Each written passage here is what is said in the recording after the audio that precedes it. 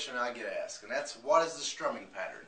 When I started playing guitar, that was the biggest thing I struggled with was what is the strumming pattern of a song? So I'm going to give you seven different things today that you can kind of go down a checklist when you hear a song that you can try these seven things to see if it fits one of the strumming patterns and hopefully whatever song you're trying to play it'll, it'll fit in one of those categories. Um, one thing, another thing I want to note is it's very hard, especially for beginners, to sing and play at the same time because your singing will always overrule your playing.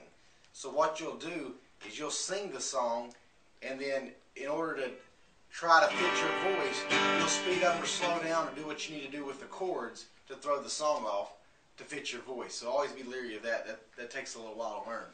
But uh, here's your seven strumming patterns you can work on. The first one is just a basic down strum. I'll use the chords, excuse me, G, C, E minor, D. Um, like I said, the first is just strum down and slow. For example, on um, Lord, I lift your name on high.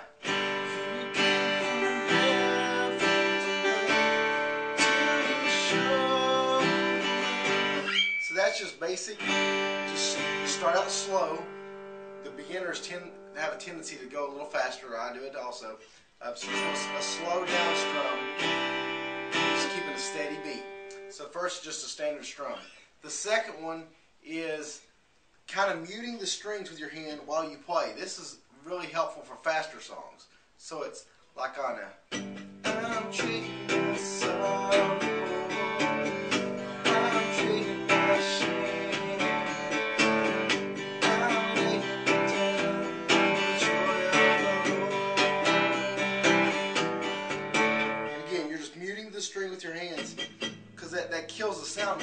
get to the next chord faster.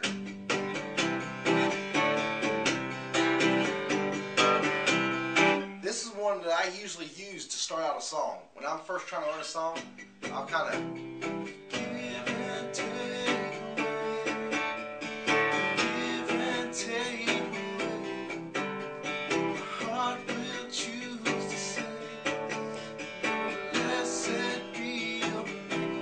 I'll kind of use that one to start out. Get the slow strum, and palm mute. The next one is kind of you're going to go quick up and down, but you're going to emphasize the first strum. This is another really useful chord. So it's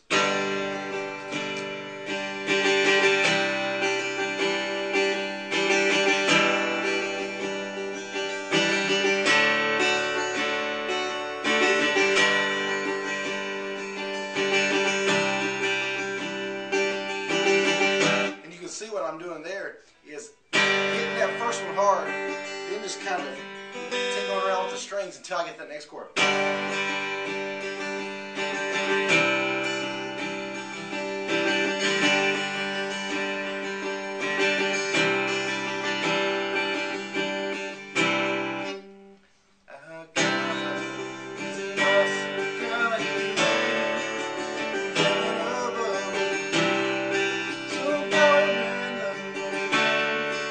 So again, that's hit that first chord hard and then, know, a little, a little softer on the rest of the chords.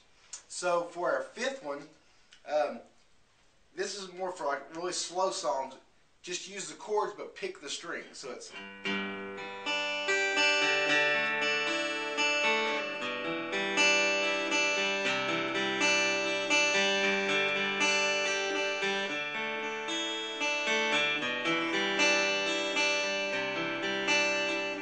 Another thing this really helps is it tells you if you're playing the chord right. So a lot of times, especially for beginners, that's an excellent practice technique to pick through the strings to see if you have any dead ones. And it'll, tell, it'll help you to move your fingers closer to the fret or in between the fret bars to get a clearer sound.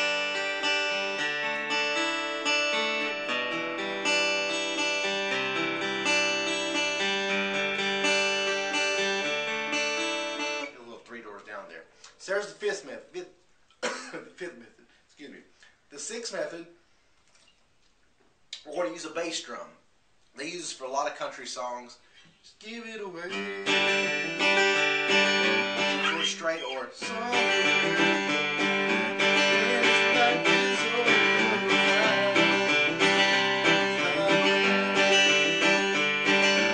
Again, you're just taking two or three notes and you're going, to hit the bass note down.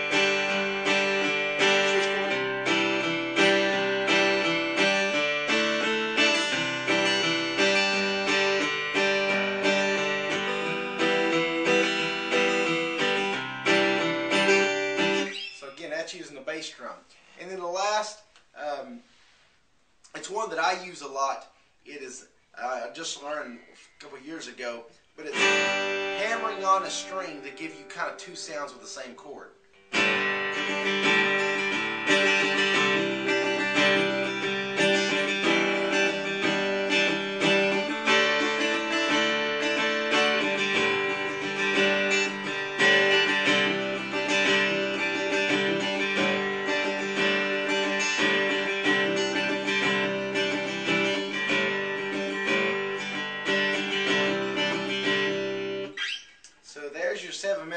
Know if I went over this one, but I'll just throw it in for bonus there.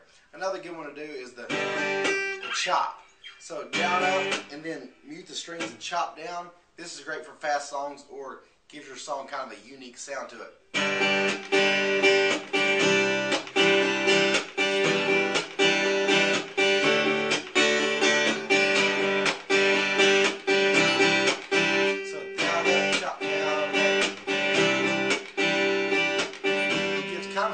In there.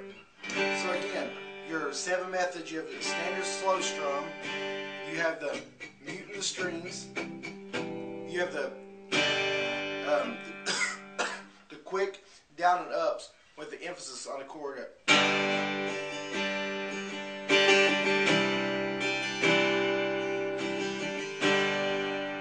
You have the um,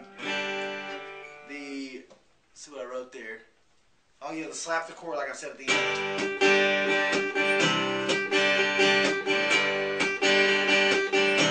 On the slow songs, you can hit between the notes. Then you got the bass drum.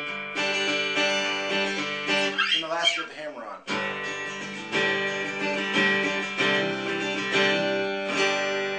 Sorry for the little cold I've had. Um, got, got through this one. But I hope you guys have a great day and hope this can help you with some of your strumming patterns. And I'm looking forward to an exciting 2010. Have a great day. God bless you.